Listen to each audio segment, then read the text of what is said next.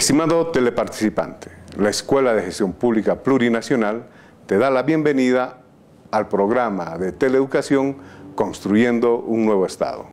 Está dirigido a servidores públicos, a profesionales, a estudiantes, a universitarios, a obreros y organizaciones sociales.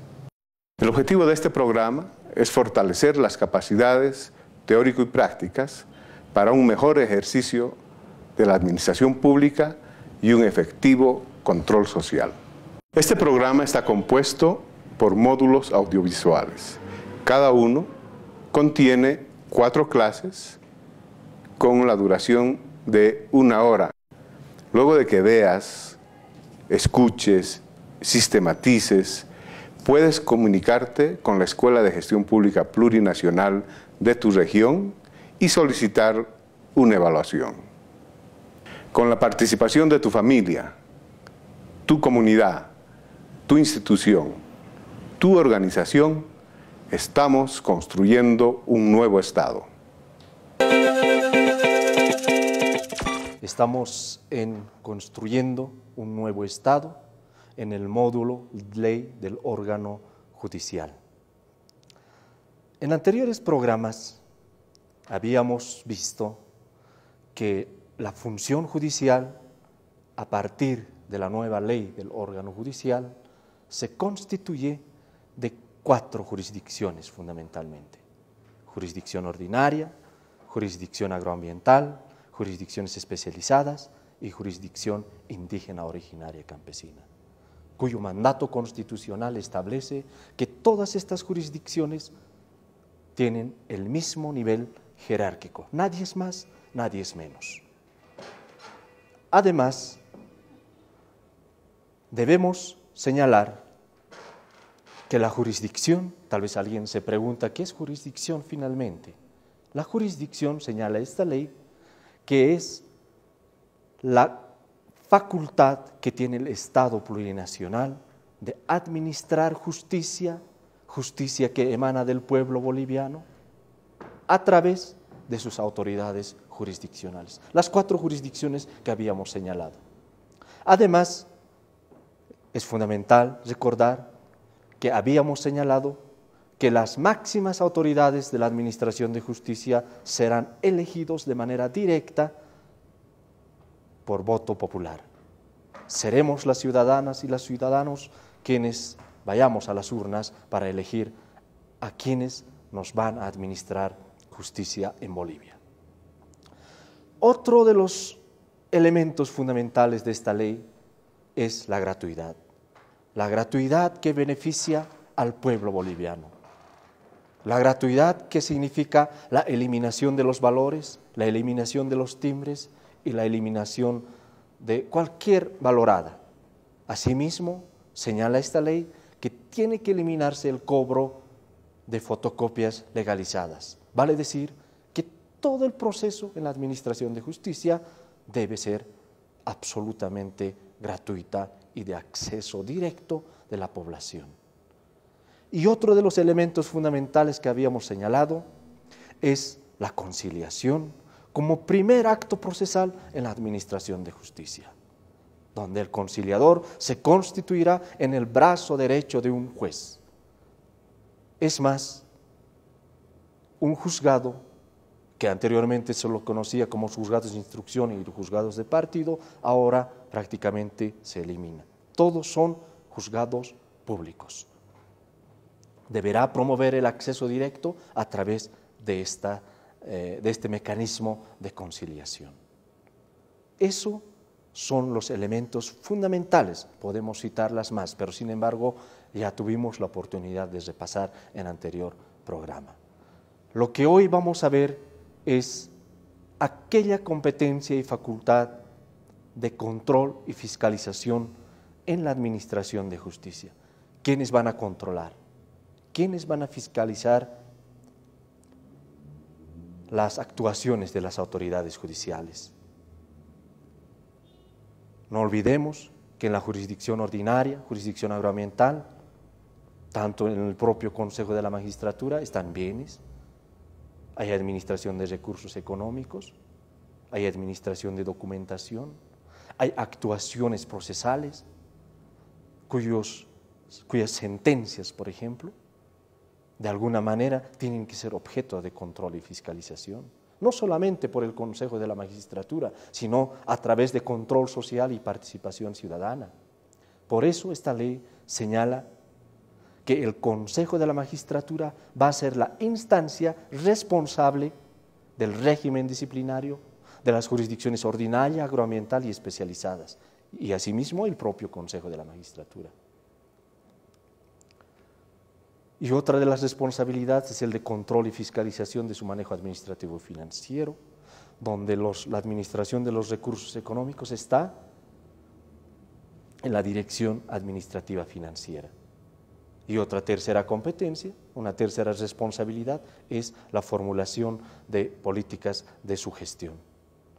Entonces,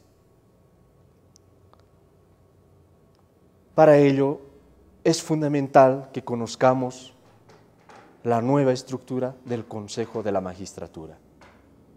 ¿Quiénes pueden postularse al Consejo de la Magistratura? ¿Cuál la forma de postularse al Consejo de la Magistratura? Porque no es lo mismo que al Tribunal Supremo de Justicia, al Tribunal Agroambiental, toda vez que para el Consejo de la Magistratura la forma de postulación será de manera directa.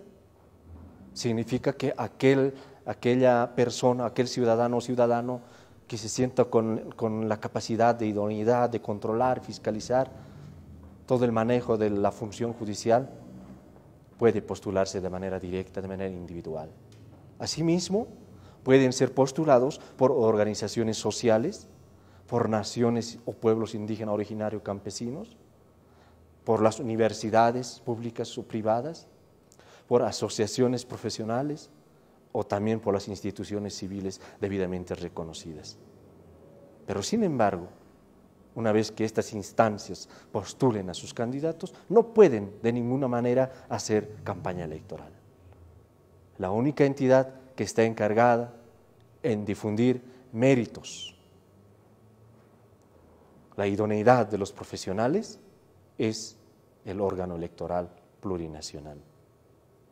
Entonces, los requisitos que señala la ley del Consejo de la Magistratura para la postulación eh, como consejera o consejero, primero es poseer conocimiento en el área de sus atribuciones, con especial énfasis en temas administrativos, en temas financieros, en temas de recursos humanos. Vale decir que cualquier ciudadano o ciudadano de este Estado plurinacional puede postularse.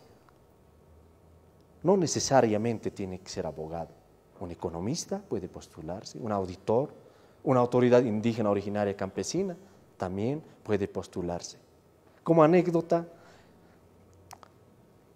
el Ministerio de Justicia en sí, en esta campaña de difusión, de presentación de la ley del órgano judicial a las universidades, a las cortes superiores de distrito de todos los departamentos, en su gran mayoría cuando planteamos este punto, por ejemplo, nos silbaron, porque no, estuvo, no estuvieron de acuerdo que se eliminara como requisito fundamental eh, la profesión de abogado. Pero la justificación creo que es muy sustentable, porque el Consejo de la Magistratura es una instancia de control y de fiscalización a todo el manejo de la Administración de Justicia al manejo de los recursos económicos en la Administración de Justicia. Actualmente nosotros sabemos que el Consejo de la Judicatura tiene esa facultad de administrar los recursos económicos y los bienes, y asimismo tiene competencias de desarrollar reglamentos, donde en sí han desarrollado una infinidad de reglamentos, donde casi el 50-60% de todos los recursos económicos del Poder Judicial se lo gasta el Consejo de la Judicatura. Por eso, esta ley limita especialmente a tres responsabilidades, aquello que habíamos señalado y vamos a desarrollarlo más adelante. Otro de los requisitos fundamentales que señala esta ley es que debe haber desempeñado sus funciones con ética y honestidad durante por lo menos ocho años. Aquel economista, aquel auditor o aquella autoridad indígena originaria campesina, por ejemplo, tiene que tener por lo menos ocho años de experiencia en el manejo de la administración. ¿no? Otro de los requisitos fundamentales es que no debe haber sido suspendido ni sancionado en procesos disciplinarios, en las funciones de magistrado o magistrado, vocales, jueces, docentes universitarios o profesional. ¿no? ustedes saben muy bien, hasta en las jurisdicciones indígenas de la campesina, las comunidades, están bien organizadas, tienen sus estatutos, tienen sus reglamentos, no tienen que haber sido suspendidos ni sancionados entonces en este sector, ¿no? Son los requisitos fundamentales. Y la forma de preselección y elección se desarrollará todo esto en la Asamblea Legislativa Plurinacional. Por lo menos la Asamblea Legislativa Plurinacional tiene que preseleccionar un número máximo de 15 candidatas y candidatos. No es lo mismo, ¿no? Para el Tribunal Supremo de Justicia era 60 candidatos, ¿no? 6, 54 candidatos. Por departamento, 6 candidatos. Y la forma de elección era departamental. Ahora, en el Consejo de la Magistratura será la forma de elección en circunscripción nacional. Significa que aquellos cinco candidatos que ocupen el primer lugar, que obtengan el mayor número de votos, se van a constituir como consejeras y consejeros titulares. Y los siguientes cinco candidatas y candidatos, o sea, seis, siete, ocho, nueve, diez, los siguientes cinco candidatos van a ser elegidos como consejeras y consejeros suplentes. Y estas autoridades, una vez elegidas, van a ser posesionados por el presidente del Estado plurinacional en un plazo de 30 días. Y la conformación del nuevo Consejo de la Magistratura es cinco consejeras y consejeros, garantizando siempre la participación eh, tanto entre hombres y mujeres de 50%, Además, señala esta ley que mínimamente, por lo menos, dos deberán ser mujeres de, los cinco consejeras y consejeros. Van a ejercer por un periodo de seis años. Y la forma de estructura del nuevo Consejo de la Magistratura será en dos salas. Una sala que va a ser estrictamente de carácter de control y fiscalización, y la otra sala será el de régimen disciplinario, sala disciplinaria. Entonces, una vez elegidas estas autoridades, cumplidas un periodo de seis años, pueden ser postulados nuevamente, pasado otro periodo constitucional. No pueden ser, eh, no pasa lo mismo ¿no? con las magistradas y magistrados del Tribunal Supremo de Justicia. Una vez que ejercen seis años, nunca más van a ser eh, reelegidos. Sin embargo, no pasa lo mismo con las autoridades del Consejo de la Magistratura. Pueden ser reelegidos nuevamente, ¿no? Las responsabilidades del Consejo de la Magistratura son específicamente en materia disciplinaria, en materia de control y fiscalización, en materia de políticas de gestión y en materia de recursos humanos. Para ello es fundamental señalar algunas competencias, por ejemplo, en responsabilidades de materia, en materia disciplinaria. En materia disciplinaria, por ejemplo, el Consejo de la Magistratura tiene que ejercer control disciplinario sobre quiénes, sobre las vocales y los vocales, sobre las juezas y jueces, sobre el personal auxiliar y administrativo, tanto de la jurisdicción ordinaria, jurisdicción agroambiental, jurisdicciones especializadas y la dirección administrativa financiera. Pero ¿quién va a controlar y fiscalizar a las magistradas y magistrados? Será la Asamblea Legislativa Plurinacional, donde la Cámara de Diputados se constituirá en acusador y la Cámara de Senadores en sancionador. Vale decir que los miembros de la Asamblea Legislativa Plurinacional van a controlar, fiscalizar y sancionar a las magistradas, magistrados, las consejeras y consejeros, porque son autoridades producto de la votación producto de las elecciones. Otra de las tareas fundamentales que tendrá dentro de la materia disciplinaria será determinar la cesación del cargo de las vocales y los vocales de las juezas y jueces, del personal auxiliar de las jurisdicciones ordinarias, jurisdicción agroambiental y jurisdicciones especializadas, cuando en el ejercicio de sus funciones incurran en faltas gravísimas. Faltas gravísimas que como sanción son directamente la destitución del cargo. Entonces jugará un papel fundamental también en esta materia. Otra de las competencias que tiene el Consejo de la Magistratura será designar juezas y jueces disciplinarios y su personal. Alguien decía, ¿no? Por ahí, en esta eh, etapa de socialización, ¿con qué criterio técnico jurídico las consejeras y consejeros van a sancionar a los jueces si ellos no conocen bien la normativa? Para ello, el Consejo de la Magistratura designará a jueces disciplinarios. Estas autoridades van a ser abogados especializados. Estos sí serán abogados. Estas autoridades jugarán en primera instancia desarrollar lo que va a ser el régimen disciplinario. Vamos a ver más adelante el procedimiento de sanción. Otra de las tareas fundamentales que va a cumplir será emitir la normativa reglamentaria del régimen disciplinario. En su segunda responsabilidad, que es el de control y fiscalización, deberá organizar e implementar el control y fiscalización de la administración económica sobre todos los bienes de las jurisdicciones ordinaria, agroambiental y especializadas deberá implementar el seguimiento, evaluación y control de la ejecución presupuestaria, así como de la planificación y programación de gastos. Alguien tiene que hacer seguimiento, cómo se está ejecutando el presupuesto, por ejemplo, ¿no? Tiene que fiscalizar, además, sobre el desempeño de todos los servidores públicos. Tiene que elaborar la auditoría de la gestión financiera.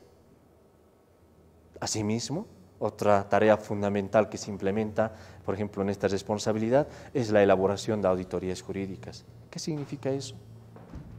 Significa que las actuaciones procesales de las juezas y jueces van a ser objeto de revisión, de una evaluación o sino de una revisión, para identificar en qué etapa del proceso este juez ha cometido irregularidades, en qué etapa no ha valorado pruebas, por ejemplo, en qué etapa no ha cumplido un plazo procesal, por ejemplo, para determinar responsabilidades. Porque no pasa, pues, actualmente, por ejemplo, los jueces, nadie los controla, o, tenemos algún juez que esté en cárcel. Y sin embargo, campea en el Consejo de la Judicatura una infinidad de denuncias contra las autoridades judiciales es que realmente no han tomado con seriedad el mandato del pueblo. Y estos jueces prácticamente han quedado en impunidad. Por eso las auditorías jurídicas van a permitir un estudio profundo sobre los procesos de una causa, por ejemplo. ¿no? En materia de políticas de gestión, el Consejo de la Magistratura tiene que formular políticas de gestión judicial y administrativa. ¿Qué significa esto? Tiene que hacer un estudio sobre el crecimiento poblacional, por ejemplo, ¿no? Sobre la carga procesal en un juzgado. No podemos soportar pues, que un juzgado esté con una infinidad, infinidad de demandas y que no puedan acelerar estos procesos.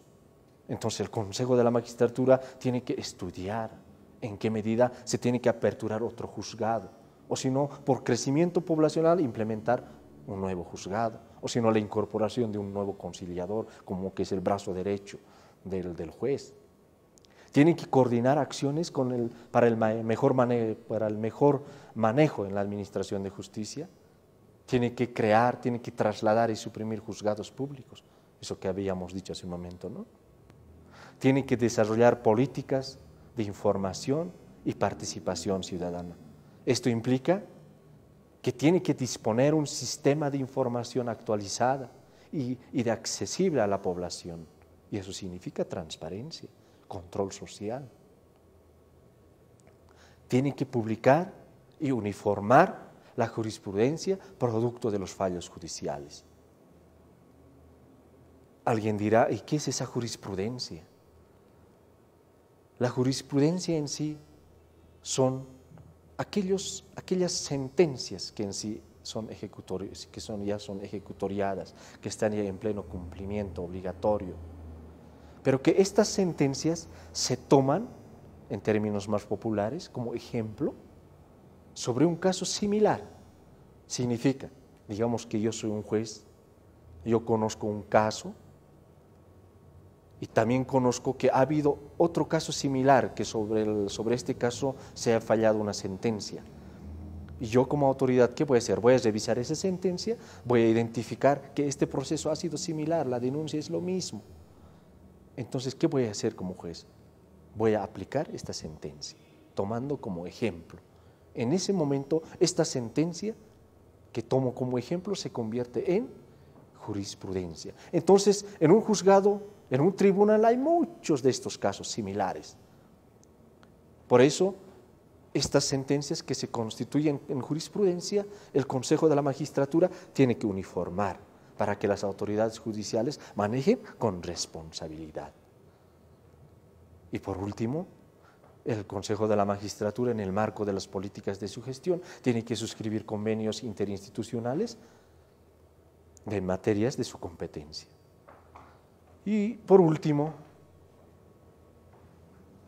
la responsabilidad de recursos humanos, donde el Consejo de la Magistratura necesariamente, a través del concurso de méritos y exámenes de competencia, tiene que permitir que las, las, abogadas y los abogados que están en el ejercicio libre de su profesión o aquellos que están cursando y formándose en la escuela de jueces puedan postularse y a través de concurso de méritos y exámenes de competencia calificar para ser juez o jueza en una jurisdicción determinada. Todos los bolivianos y bolivianas estamos construyendo ahora un nuevo Estado. Un Estado plurinacional que requiere servidoras y servidores públicos comprometidos. La Escuela de Gestión Pública Plurinacional es una red de escuelas a nivel nacional que brinda formación y capacitación a servidores públicos del gobierno central, gobiernos departamentales, municipales y autonomías indígena originaria campesinas.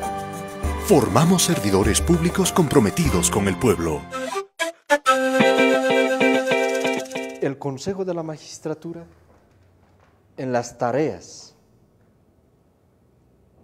de responsabilidad de recursos humanos deberá preseleccionar a los candidatos y los candidatos y las candidatas a los vocales y los vocales de los tribunales departamentales, donde por última instancia será el Tribunal Supremo de Justicia quien va a designar, garantizando la participación del 50% entre mujeres y entre hombres.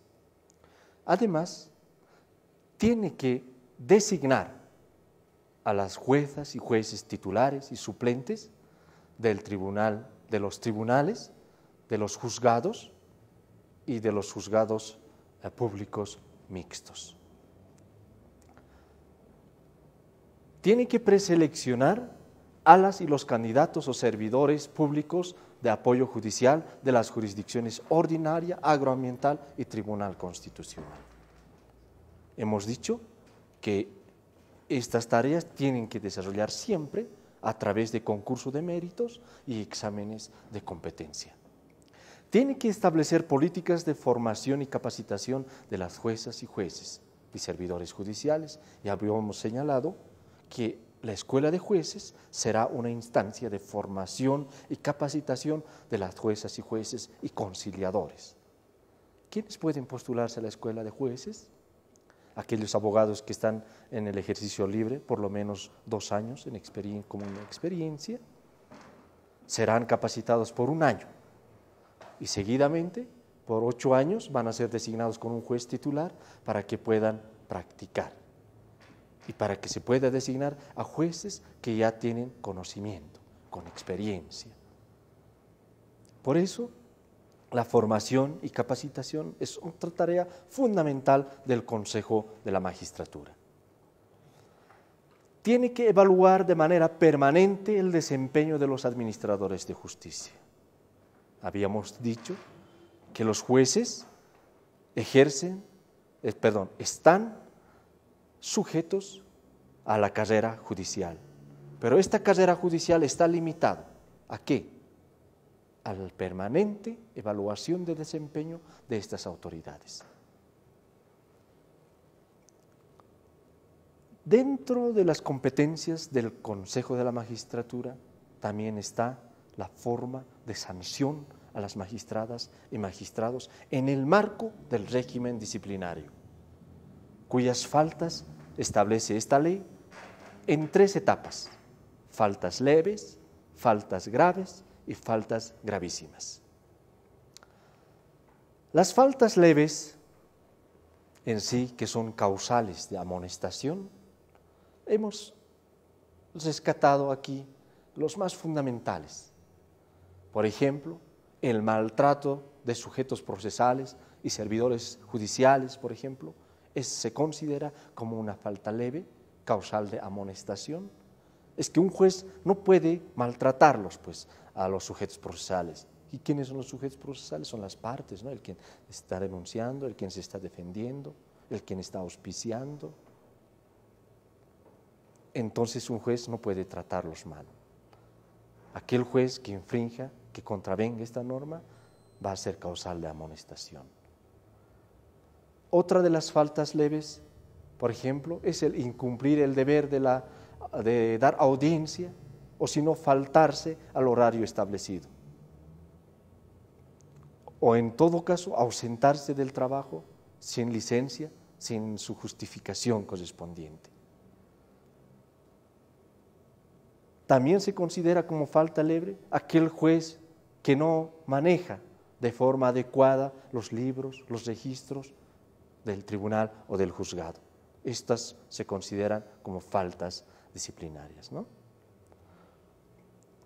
Dentro de lo que son las faltas graves, que es causal de suspensión, por ejemplo, en su administración, aquí se consideran como faltas graves cuando se declare ilegal, por ejemplo, una excusa en un año.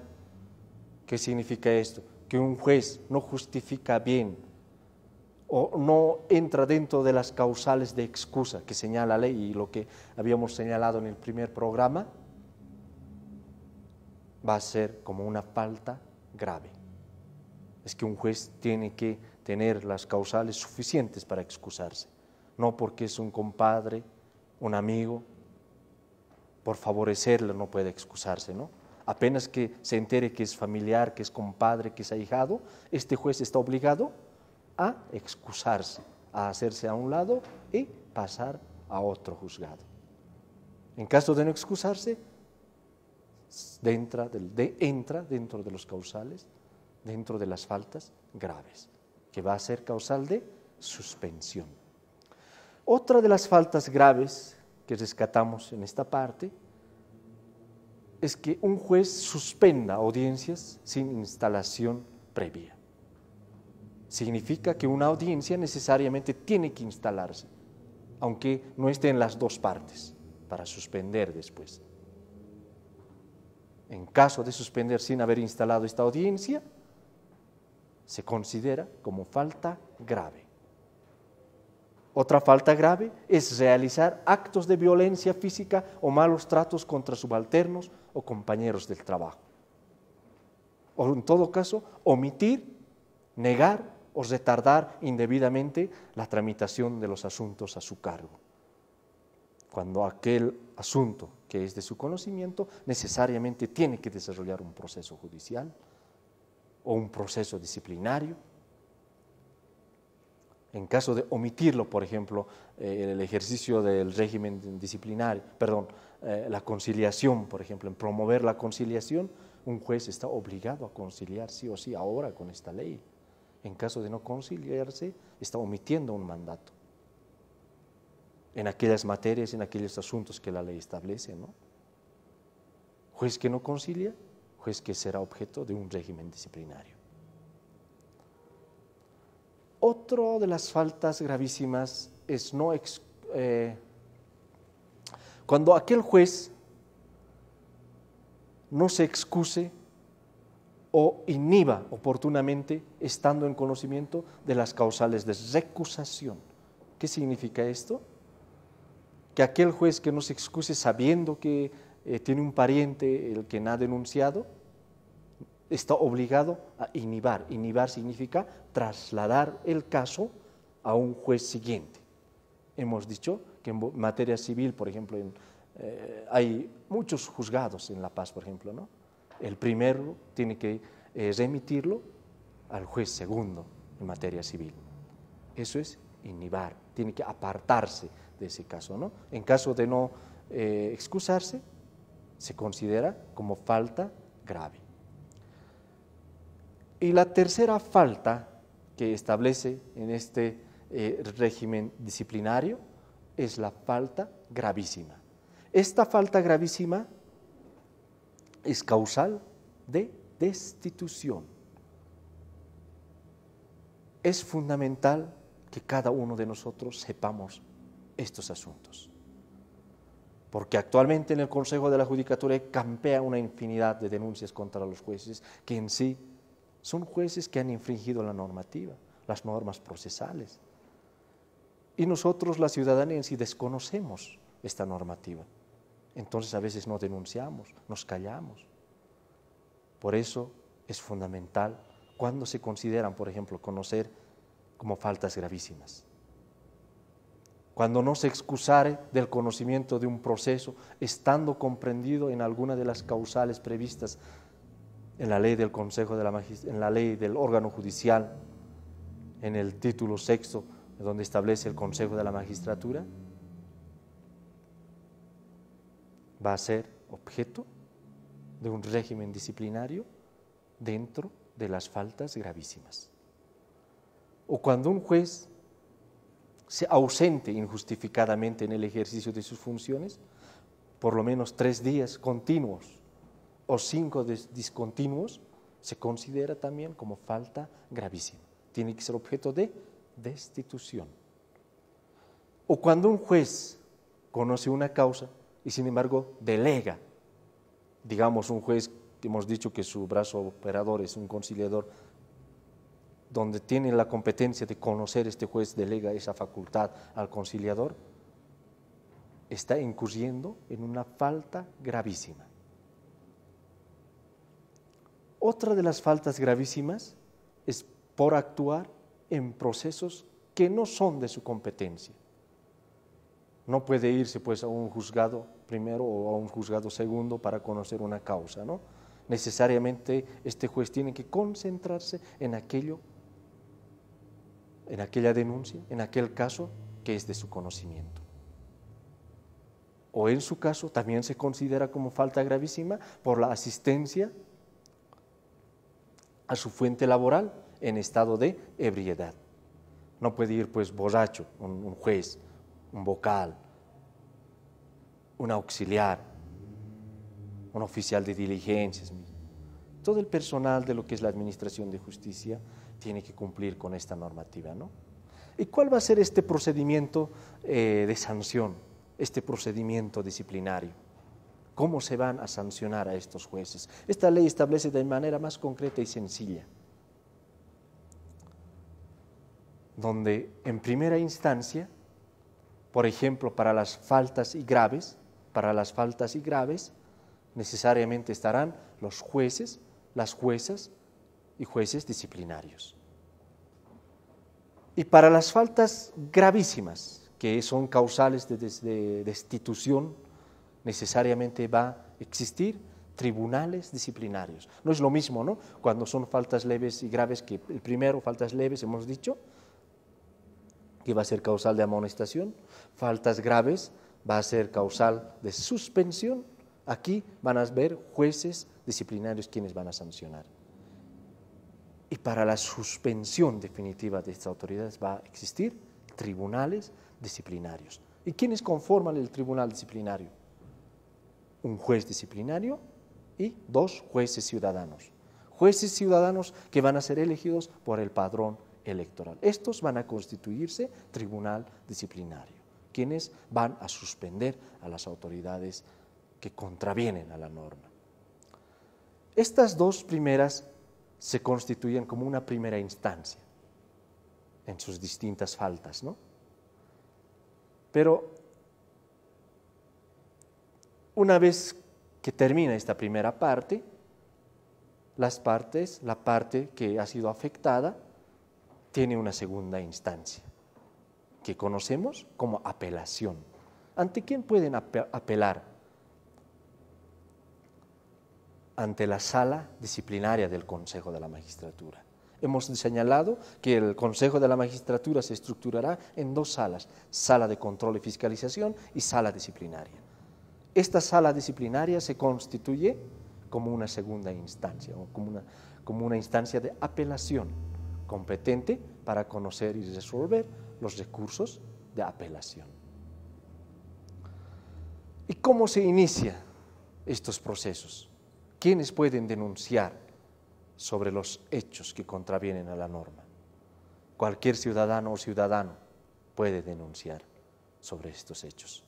O servidoras o servidores públicos están en la obligación de denunciar al Consejo de la Magistratura. Y la forma de sanción, esta ley señala en tres etapas. Hemos dicho, ¿no? Que para las faltas leves, la sanción será amonestación y además multas de 20% de haber en un mes. Por faltas leves. Y por faltas graves, la, sanción será suspensión directa, ¿no? Suspensión por lo menos seis meses sin goce de haberes. Y por faltas gravísimas, hemos dicho que a través del eh, tribunal disciplinario será destitución.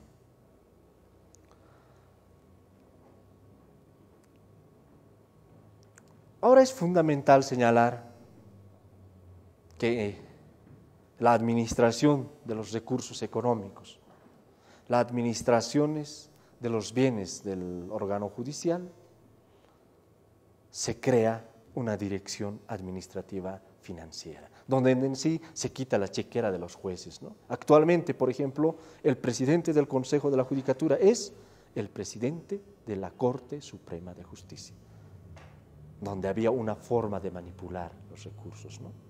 Ahora no. Se crea una dirección independiente, una entidad desconcentrada, con personalidad jurídica propia, autonomía técnica y económica y financiera y patrimonio propio, encargada de la gestión administrativa y financiera, de las jurisdicciones ordinaria, agroambiental y del Consejo de la Magistratura, donde ejercerá sus funciones en todo el territorio del Estado plurinacional. Y también pueden abrirse otras oficinas en los otros departamentos. Entonces, esta dirección estará administrado por un directorio. Un directorio que estará conformado por el presidente del Tribunal Supremo de Justicia, por el presidente del Tribunal Agroambiental y por el decano del, Tribunal Supremo. ¿Quién es el decano? Ese va a ser el magistrado que tiene mayor experiencia en el ejercicio de la profesión como abogacía, ¿no? Y además va a ser administrado por el director general administrativo financiero, quien va a ser designado por el Tribunal Supremo de Justicia. Y esta dirección administrativa financiera en su conjunto estará bajo tuición del Tribunal Supremo de Justicia. Hasta aquí hemos visto de manera más general aquello que, tiene, aquello que incorpora la nueva administración de justicia la nueva función judicial en sus distintas jurisdicciones. En especial hemos puesto énfasis en la administración de la jurisdicción ordinaria. A partir del Tribunal Supremo de Justicia, tribunales departamentales, juzgados públicos, juzgados públicos mixtos, conciliadores y el Consejo de la Magistratura. Hemos visto ahí las responsabilidades del Consejo de la Magistratura, el régimen disciplinario, la forma de sanción a los jueces y los jueces, la forma de designación a las autoridades judiciales y el personal de apoyo de la ley de la perdón, de la administración de justicia. Ahora lo que vamos a ver de manera más general es los cambios que implementa la ley del órgano judicial en comparación de lo que fue la ley de organización judicial, que a partir del 24 de junio norma la ley del órgano judicial que ha sido puesta en vigencia, incorpora nuevas tareas de la jurisdicción ordinaria, nueva estructura, nuevas funciones, eliminando, eh, por ejemplo, el cobro de valores y timbres, ahora implementando nuevos derechos de las ciudadanas y ciudadanos y el acceso directo en la nueva administración de justicia. Para ello es fundamental hacer una tabla comparativa de lo que fue antes la ley de organización judicial y lo que es la ley del órgano judicial. Por ejemplo, en lo que fue el órgano judicial antes solo prevalecía la jurisdicción ordinaria. Ahora está la jurisdicción ordinaria, la jurisdicción agroambiental, las jurisdicciones especializadas y la jurisdicción indígena originaria campesina. Y el Consejo de la Magistratura ahora forma parte del órgano judicial. Y en cuanto a función judicial, antes era de orden público, no delegable y solo emanaba de la ley. Ahora la función judicial es única y emana del pueblo boliviano. En cuanto a su jerarquía, antes solo prevalecía la jurisdicción ordinaria, ahora no. Ahora la jurisdicción ordinaria, la jurisdicción indígena originaria y campesina gozan del mismo nivel jerárquico. En cuanto a su estructura de la jurisdicción ordinaria, antes estaba la Corte Suprema de Justicia, Cortes Superiores de Distrito, Tribunales de Sentencia, Juzgados de Partido, Juzgados de Instrucción. Ahora no. Está Tribunal Supremo de Justicia, Tribunales Departamentales, Juzgados Públicos y Mixtos y conciliadores. Antes, en cuanto a la designación de estas autoridades, se llaman ministros actualmente, ¿no? Los ministros de la Corte Suprema de Justicia, por ejemplo, eran elegidos por la Cámara de Diputados de ternas propuestas por la Cámara de Senadores. Ahora van a ser elegidos a través de sufragio universal. Los vocales, por ejemplo, eran elegidos por la Cámara de Senadores de ternas propuestas por la Corte Suprema de Justicia. Ahora serán preseleccionados por el Consejo de la Magistratura y designados por el Tribunal Supremo de Justicia. Y en cuanto a los jueces, ahora serán designados de manera directa a través de concurso de méritos y exámenes de competencia por el Consejo de la Magistratura. En cuanto a su composición, antes el Tribunal Supremo de Justicia se componía de 12 ministros, 12 ministros. Ahora el Tribunal Supremo de Justicia tendrá nueve magistrados, garantizando el 50% de mujeres y 50% de hombres. En cuanto a los tribunales departamentales, que eran conocidos como Cortes Superiores de Distrito, antes La Paz, por ejemplo, tenía 20 vocales, ahora tendrá 24 vocales. Santa Cruz, por ejemplo, tenía antes 15 vocales, ahora tendrá 20 vocales. Antes Cochabamba tenía 13 vocales, ahora tendrá 18 vocales. Oruro, Potosí y Chuquisaca tenían antes 10 vocales, ahora tendrá 12 vocales. Tarija tenía 8 vocales, ahora tendrá, además se mantendrá los 8 vocales. Beni 7 vocales, Pando 5 vocales. Al menos los tres eh, departamentos citados van a mantener eh, la conformación similar a la anterior, ¿no? Pero esto está sujeto a un estudio de crecimiento poblacional y también eh, por la carga procesal que tiene en todos los departamentos. En cuanto a las competencias que tenía conocimiento un juzgado, por ejemplo, perdón, en tribunales departamentales, se tenía materia civil, materia penal, materia social, materia minera, en materia de niño, niña, adolescente y de seguridad social. Eran materias, eh, eran juzgados que en sí que trabajaban en todos los, los capitales. ¿no? Ahora, con la ley del órgano judicial, aún se mantienen casi la misma estructura. Sin embargo, se excluye los juzgados en materia penal, perdón, en materia minera.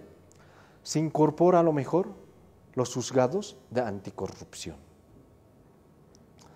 Y otro de los cambios fundamentales en esta, en esta estructura es que antes habían juzgados de instrucción y juzgados de partido. Ahora no. Todos son juzgados públicos. Solo en materia penal, en materia de anticorrupción, hay juzgados de instrucción. Esto por mandato constitucional. Antes, la conciliación no era tan obligatorio, ¿no? El juez en cualquier etapa podía procurar la conciliación. Ahora no. La conciliación es la primera actuación procesal en la jurisdicción ordinaria. La obligatoriedad, por ejemplo, no establecía antes, ¿no? Ahora todas las juezas y jueces están obligados a promover la conciliación entre las partes. ¿Y en qué materias podían ser objeto de conciliación? Antes no era tan claro, porque los jueces no estaban tan obligados para conciliar. ¿no? Ahora, en materia civil, en materia penal, por ejemplo, solo en aquellos delitos de carácter privado pueden ser objeto de conciliación. En, por ejemplo, un asesinato, violaciones, atentados contra la unidad del Estado hemos dicho, son asuntos que no pueden ser objeto de conciliación. En materia familiar, en materia comercial, materia laboral o entre otros que señale las normas especiales. En estos asuntos van a ser objeto de conciliación. Antes no establecía actas de conciliación. Ahora, por tratarse, la primera actuación procesal, una vez que se llegue a un acuerdo las partes, se levantará un acta de conciliación donde el juez no tiene que, no tiene que homologar, no tiene que revisar, lo único que tiene que hacer es aprobar para su cumplimiento obligatorio. Antes la oralidad no estaba en todos los procesos ni en todas las materias. Ahora esta ley señala que en todas las materias y todos los procesos deben ser orales. Antes la gratuidad era como una cita de un principio, o como un principio donde finalmente eh, el Consejo de la Magistratura aprobaba el cobro de valores y timbres y la Cámara de Senadores a través de una resolución camaral aprobaban este cobro. ¿no? Ahora no, se elimina absolutamente todos estos cobros. Todos los procesos, desde el inicio hasta su conclusión, deberán ser gratuitas. Antes un juez podía dictar clases en las universidades. O sea, no era tan exclusivo la administración de justicia. Ahora no. Es incompatible con la eh, docencia universitaria. Juez que administra justicia tiene que dedicarse a administrar justicia. Por eso el ejercicio de la función judicial es exclusivo, no solamente para los vocales ni jueces, sino también para el personal de apoyo. ¿no? Antes, en cuanto a la información y transparentación del manejo de la jurisdicción ordinaria, solo había las plataformas de información de juzgados. Ahora no. Deberá implementarse necesariamente procesos digitalizados, sistemas informáticos y plataformas de atención. En cuanto al Consejo de la Magistratura, su naturaleza jurídica era eh, de carácter administrativo y disciplinario del Poder Judicial. Ahora forma parte del Consejo, forma parte del órgano judicial. En cuanto a su composición del Consejo de la Judicatura, antes existían cuatro consejeras y consejeros. Ahora no.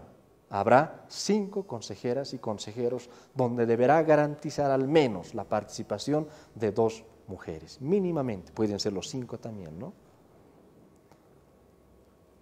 En cuanto a su periodo de funciones, antes ejercían por un periodo de 10 años, ahora ejercerán por un periodo de 6 años. Antes necesariamente para ser consejero tenías que ser abogado, ahora no. Cualquier ciudadano o ciudadano puede postularse y puede ser como consejera o consejero. Y eran designados por el Congreso Nacional por dos tercios de votos. Ahora no, van a ser elegidos de manera directa por la población. En cuanto a sus responsabilidades, en sí, el Consejo de la Judicatura, con la competencia de desarrollar eh, reglamentos, prácticamente ha establecido una normativa, un reglamento que en sí ni alcanza a los dedos, ¿no? Cualquier defecto que encontraban, desarrollaban un reglamento. ¿Y esto qué significaba? reportaba pues necesariamente presupuesto, por eso se lo gastaba más de lo debido el Consejo de la Judicatura. Ahora no, se limita solamente a tres responsabilidades. Responsabilidad disciplinaria, control y fiscalización y políticas de gestión. En cuanto a la carrera judicial, se iniciaba a través del Instituto de la Judicatura. Ahora no, se inicia a través de la Escuela de Jueces para la formación y capacitación de los jueces, asimismo de los conciliadores. En cuanto a su financiamiento, antes existían las multas procesales, costas judiciales, valores judiciales, cobros de valores, timbres.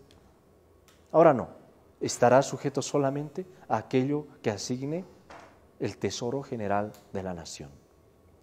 En cuanto a los recursos económicos, habíamos señalado también que el Consejo de la Judicatura administraba los recursos económicos y los bienes del Poder Judicial. Ahora no, se crea la Dirección Administrativa Financiera como una entidad desconcentrada,